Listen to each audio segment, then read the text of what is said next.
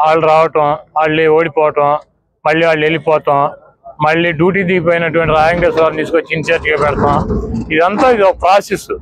ఒక four months రాయంకేశ్వరికి rest. ఇన్ఛార్జ్గా ఉండడు. ఆ తర్వాత మళ్ళీ జూన్లో వచ్చేస్తాడు ఇన్ఛార్జ్ అయిపోతాడు. కాబట్టి ఇది హాల్టింగ్ జాబ్ వస్తూ ఉంటారు పోతూ ఉంటారు అటు గురించి అది పట్టించుకోవాల్సిన అవసరం లేదు. గుడివాడ నియోజకవర్గంలో వైఎస్ఆర్ కాంగ్రెస్ పార్టీ కంచుకోట నేను బతుకుండగా వైఎస్ఆర్ కాంగ్రెస్ పార్టీ జెండానే ఈ గుడివాడ దించడం అమెరికా కాదు అంతరిక్షంలోంచి వచ్చినా కూడా అడి వల్ల కూడా కాదు. కాబట్టి చంద్రబాబు అనేవాడు అధికారంలోకి రావటం పగటి కళ. మనం చూసాం జనసేన బీజేపీ పోటీ చేస్తే జనసేన పరిస్థితి ఏంటో? ఇక్కడ చంద్రబాబుతో కలిసి కనుక జనసేన పోటీ చేస్తే జనసేన పరిస్థితి అదే అవుతుంది మళ్ళీ ఇక్కడ కూడా. తెలుగుదేశం పార్టీకి అధికారం కోసం చంద్రబాబు నాయుడు పోకులాట్ల ప్రతిపక్షం కోసం జనసేన కలుపుకున్నాడు. పవన్ కళ్యాణ్ గారు అసెంబ్లీకి వెళ్ళి అధ్యక్ష అనాలని చెప్పి నేను ఎమ్మెల్యేకి గెలవాలంటే తెలుగుదేశం అలయన్స్ కావాలని ఆయన కోరుకుంటున్నాడు. ఈయనేమో ఎమ్మెల్యే కోసం ఆయన ప్రతిపక్ష నాయకుడి కోసం పెట్టుకున్నటువంటి అలయన్స్ సింహంలాగా సింగిల్గా వచ్చేటువంటి జనాదరణ దేవుడు ఆశీస్సులు ఉన్నటువంటి జగన్మోహన్ రెడ్డికి ఇంటర్ ముక్క కూడా పీకలేరు వీళ్ళందరూ కలిసి. లారీ కింద దూరి ఆగున్న లారీ కింద కుక్క దూరుతుంది దూరి పైకి చూసి ఏమనుకుంటుంది?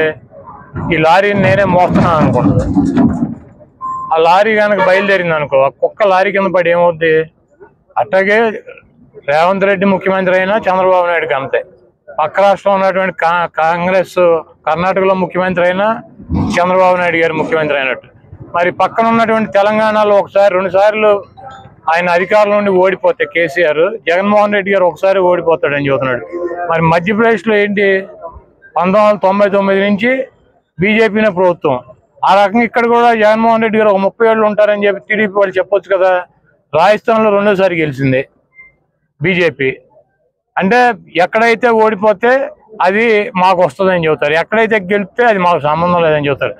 లారీ కింద దూరిన కుక్కకి ఈ తెలుగుదేశం కుక్కలకి పచ్చ కుక్కలకి ఏమీ తేడా లేదు. ఇక్కడ ఏదో సెటిలర్స్తో మేము టీఆర్ఎస్ను ఓడిస్తాం చంద్రబాబు సింపతి వచ్చింది బొంగు వచ్చింది హైదరాబాద్లో కేసీఆర్ అని చూస్తూ ఉన్నారు. ఎక్కడన్నా గ్రేటర్ హైదరాబాద్లో కానీ సెటిలర్స్ ఉన్న చోట కానీ ఎక్కడన్నా కాంగ్రెస్ పార్టీ ఒక సీటు గెలిచిందా?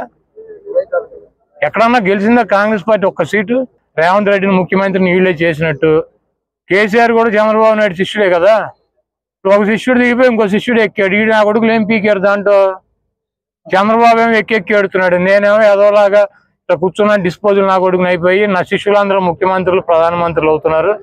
నా కర్మ బాబు అని ఆడి ఎడుతున్నాడు ఈ పిచ్చి నా కొడుకులు ఏమి వెళ్ళి? గాంధీ భవన్ దగ్గర నాలుగు జెండాలు పట్టుకుని గంతులు ఎత్తున్నారు తాగేసి. కాబట్టి ఈ రాష్ట్రంలో ఎవడు ముఖ్యమంత్రి అయినా చంద్రబాబు అయిపోతాడు నెక్స్ట్. ఈ రాష్ట్రంలో నాలుగు సార్లు ఐదు సార్లు గెలిస్తే అవి మాకు సంబంధం లేదు. మధ్యప్రదేశ్లో ఎన్నిసార్లు గెలిచింది బీజేపీ? పంతొమ్మిది వందల తొంభై తొమ్మిది నుంచి లైన్గా గెలుస్తూనే ఉంటుంది ఈ పక్కన నవీన్ పట్నాయక్ ఇరవై సంవత్సరాల నుంచి అతనే ముఖ్యమంత్రి. అవతల మమతా బెనర్జీ పదిహేను సంవత్సరాలు ముఖ్యమంత్రి. లైన్గా మూడోసారి గెలిచింది. నవీన్ పట్నాయక్ ఆ పక్కన ఉన్నటువంటి ఆయన బీహార్ ముఖ్యమంత్రి. వాళ్ళు ఎన్ని సంవత్సరాల నుంచి ఉన్నారు? పదిహేను సంవత్సరాల నుంచి ముఖ్యమంత్రులు. ఈ ఈ గుడ్డిగాడు కళ్ళు కనపట్లేదు? చంద్రబాబు గారు అంటే కళ్ళకి ఆపరేషన్ చేసుకుని ఇంటికాడు పడుకున్నాడు. వీళ్ళకి ఏం చేసుకున్నారు? కాబట్టి ఈ రాష్ట్రంలో ఎవడన్నా చంద్రబాబు లాంటి వెధవలే ఒకసారి పరిపాలించి ఓడిపోతారు. ఎందుకంటే ప్రజలను పట్టించుకోకుండా హెరిటేజ్ని భార్య పిల్లల్ని పట్టించుకుని ఒక సామాజిక వర్గాన్ని పట్టించుకుని కోటాను కోట్ల రూపాయలు దోచుకుంటాడు కాబట్టి ఇటువంటి వెధవలను ఓడిస్తారు ఒకసారికి.